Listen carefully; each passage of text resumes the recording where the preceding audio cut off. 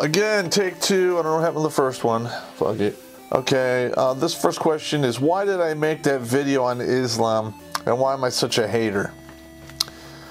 Okay, uh, first of all, when you talk about facts and truth, it's not hate. Um, I believe everything I showed in regards to that is exactly what the liberals of the Western world are ignoring because it doesn't meet their uh, their narrative and.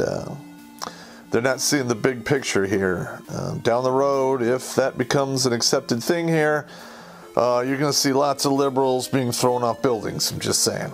A Facebook message from uh, one of the MRA groups out there. They're having a, uh, a get together at Washington, in Washington, D.C., September 18th, 2017. I'll see if I can make it. It wouldn't be the first time I've gone to those events, and I've actually been a guest speaker at a couple. But yeah, I mean, what's going on in, in uh, family court is insane. I find it absolutely reprehensible that you can go into the bank, whip out a gun, mow down six people, you know, go up for murder, and they will meticulously follow your rights in criminal court. But when you go into family court, you're guilty until proven innocent. They take a large portion of your, your income, probably make you make pussy payments for the rest of your life if you're married to long enough, and you're paying child support for kids that you have no uh, supervision or control over, but yet you can be sued if they do stupid shit. All right, now why did I make the video tribute to Robin Williams? And my rant at the end was very disrespectful. I don't see that video as being um, disrespectful. Uh, what I do find disrespectful is the fact that uh, two of his ex-wives rode his ass into the dirt and uh, then they quietly have like a ceremony that nobody can come or say goodbye to him um, because they knew that they pretty much hold a lion's share of responsibility in his kicking of his air addiction. And the math portion at the end was basically showing the insurmountable pressures that were upon him even as his health was declining. And he just said, Hey, I'm done. I'm checking out. And you know what? The red flags were he set up the trust so his children would get all of his money if and when he should pass away, which is the correct answer in regards to that. I don't agree with him, uh, you know, you know, committing suicide, but I understand it. And uh, if you haven't checked out that episode, you should.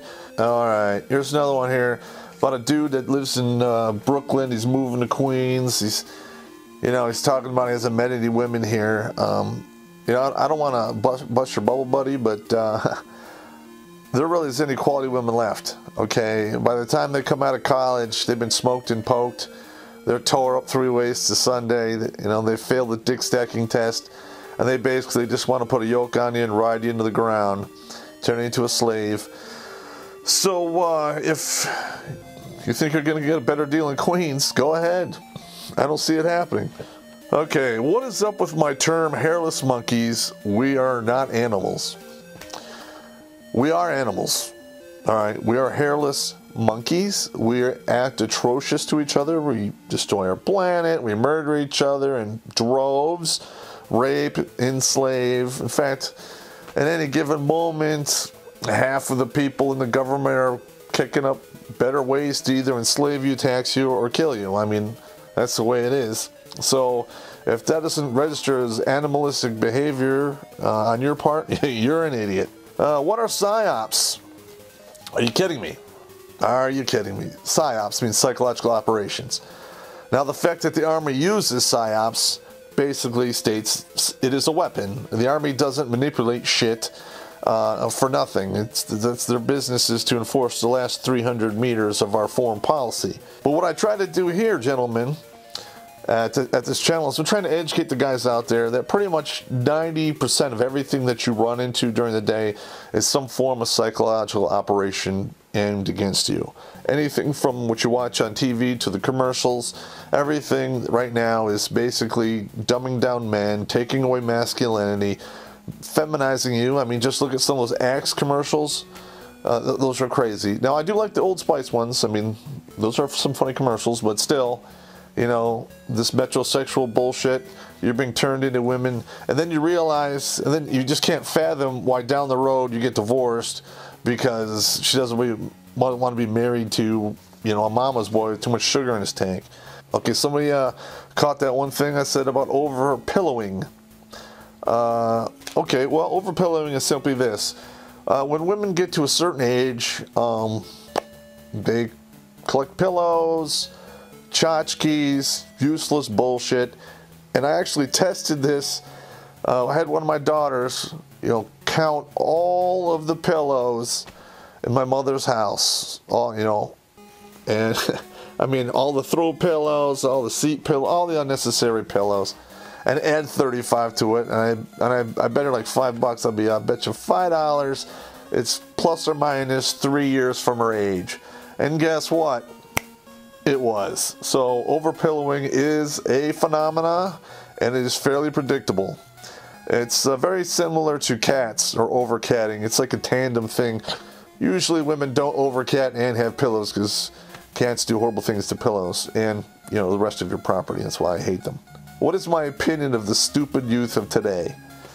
Oh my god. Check out my episode Mangina. Hell, I pretty much go through it like line by line there. The young men of today are manipulated significantly in school, uh, and usually not to their advantage.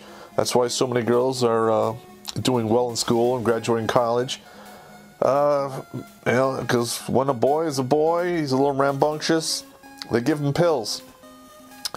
Back when I was in grade school, I, I went to went out for recess. I had to run laps or sprint to the uh, home plate of of the baseball diamond, which is just over a quarter mile away twice, and run the stupid right at you. So, yeah, the whole system as it is now for the schools is is poor, and the youth of today, for some reason, they don't ask why. You know, they just accept pe- what people say at face value when they can be blatantly lied to. Okay, and there's no reason for that today because everyone has a smartphone and you can Google, for God's sake. If you don't Google anything that you have any doubts about and you accept it at face value, it's called laziness and you deserve what you get, you dumb fuckers. Anyone can teach a shit out of a book, right? I mean, just any monkey can read out of a book, but a good teacher, a wise teacher, can teach you the whys. You need to find the why in life and you will go far. Again, I mentioned that, that the system is one sided, basically for women uh, in almost every aspect of uh, of life, uh, except for the uh, triple D jobs, uh, which is a nice bra size if you have a you know a thin waist. But I mean, you know, dangerous, dirty, and discomfort jobs that women just don't like to do, and then they bitch about not making as much money as men because they don't take the risk, nor do they get the reward. You know what the hell? Somebody's got to do that shitty work.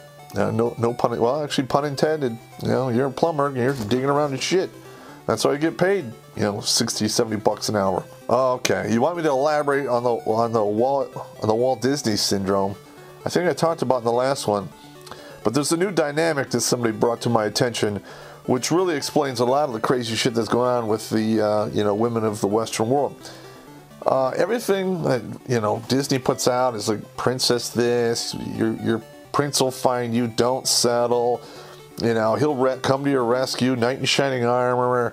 And then you have the feminists right behind them saying, I am woman, hear me roar. Whatever you do, I can do better. I mean, is it any reason why these women today don't know what the fuck they're doing? They, they don't know if they're sinking or swimming. It's insane. Okay, I had one guy ask me, what is the 753311 rule? And the 713, 21, and 24. Okay, I have a friend of mine. Uh, he basically runs networks for law firms, and I had access to LexisNexis a couple times. I used it, you know, in some of my uh, cases against my now ex-wife in court. But you know, just for shits and giggles, you know, I number lined. I think it was like 1,600 divorces, and they all clustered around these numbers: 7, 13, 21, and 24 and I call those the years of review. All right, your first review is at seven years, second review is at 13, third is 21, fourth is 24. If you make it past 24, odds are you're gonna ride that bag of bones into the dirt. So I'm just, I mean, that's the only upside on this. And the 753311, uh, I put that together. It's a little anecdotal, but I noticed that, like, when a woman gets divorced, she gets married like 26. She gets divorced like at 33.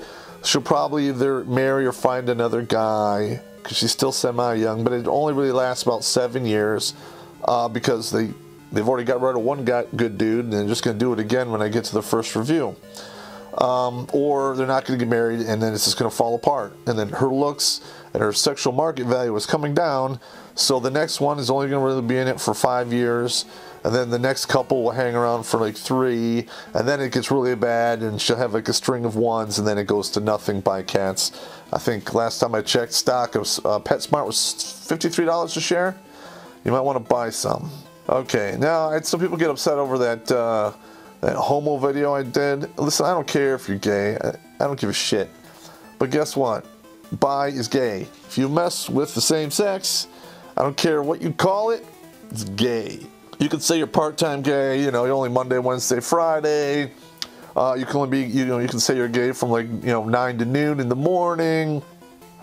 Uh, what have you. But at the end of the day, you're gay. I'm sorry. Okay, if you don't like it, don't care. This guy asked me why in several of my videos I made comments that the Western world needs to go away. Well, it does. Um, you basically have a society which is vilifying one of the sexes, there's only two, which basically contributes a lion's share of the tax income, um, provides a, most of the defense, uh, you know, keeps everything humming along and, and running because they do the, the three dirty jobs uh, dirty, discomfort, and uh, dangerous. Women don't want to do that shit. So, uh, you know, if you're going to stab those guys in the back, then maybe you really, as a civilization, doesn't need to exist anymore. Um, you know, I, I, have I have kids, you know, and uh, I feel for them because the world they're going to inherit is shit. You know, and there's really not much I can do about it. I'm giving some people some warning, but I, it's too little too late, and it ain't going to make it much of a difference. Okay, why do I think if a woman makes more than her man, the man is expendable? Okay, well, if you haven't caught on to the fact that men are expendable by now, you are an ID10T. That's an idiot. Okay, now women instinctively look for the better deal. They don't have loyalty. I'm sure that some will say, yeah, it's a lie, Popp. Yeah, whatever. I've got hundreds and hundreds of examples of guys like broke his back and then gets divorced, loses his job, gets divorced, you know, gets sick, can't work, gets divorced. I mean, they just they just kicking money's down and you know there's no better worse rich or poor i mean that you know fuck you i'm out of here same thing happened to me i mean i got i got dinged up pretty bad in iraq and it, it took a couple years to recover and you know when i when i finally did pull out of the out of the fog i mean it was a brain injury for god's sake and uh, it's not like you can, you know, lift weights and regenerate an arm or a muscle. I mean, it's your goddamn brain. It's an intangible. It's hard to change. And you know, hey, you know, I got swapped out for, uh, you know, uh, I guess she wanted a hub in the, you know, Richard salad. Okay, now I made that one, this one comment, and I got a couple, I got like four or five questions worded differently, but I'm going to tell you this is why never go to the ground? Now, if you are in a fight and you go to the ground, you are immobile. All right, now in the rules of warfare, since I've studied it for so long, that if you're given the chance between armor and mobility, you should take mobility. Okay. Uh, I don't care how good you are at jujitsu, you're just a dude. You're basically a giant walking water balloon with a solid structure in the middle. And if you are on the ground, you know, no matter if that guy's good or not, you know, you're fighting him and it takes more than, I don't know, three seconds. If he has any buddies with him, you're dead. You're going to get stomped out of existence. Don't go to the ground. Keep your mobility. Okay, and then I had some other guys ask me, you know, like, uh, you know, while I was on, I mentioned that they want to know, you know, what you could do to basically get ready for self-defense. And my ultimate answer is this: get a goddamn gun. All right, it's easy to train on it. It's a lazy man's weapon. Uh, it works pretty much all the time. If you should even wound the guy, he takes the fight right out of him. Get a goddamn gun. All right, now if you don't want to do that, you actually want to train, and uh, you don't have a lot of time and you want to, you know, get up to an operational level, you probably want to go with some of the harder martial arts because the hard martial arts, you can become proficient and deadly a lot faster, but then you plateau out. And what I'm saying, like a hard martial art, is like boxing.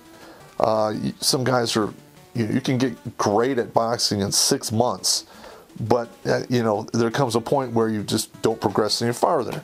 Uh, it's even you know like world champions and like ranked one, you know the top 10 ranked guys in boxing, they're they're almost always evenly matched. Okay, it's it's really not big of a there's really not a big gap between them, except one guy was lucky and one guy wasn't, I guess. Uh, another one is uh, wrestling. First of all, you know I took wrestling in high school.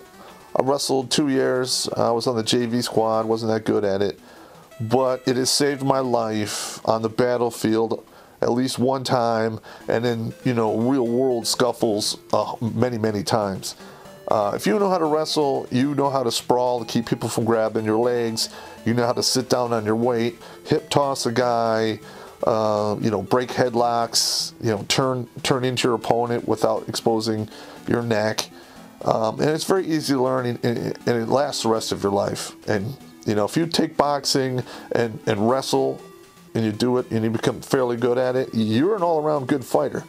Okay, if you want to like finish the package, you know, take Muay Thai kickboxing and then wrestle, uh, because you know four is better than two. If you have hands and feet against a guy who just has his hands, well, I feel sorry for you when your uh, your junk is kicked up into your esophagus. I got a poem today. It's a real short one. I wrote this one years ago when I was in a very bad place.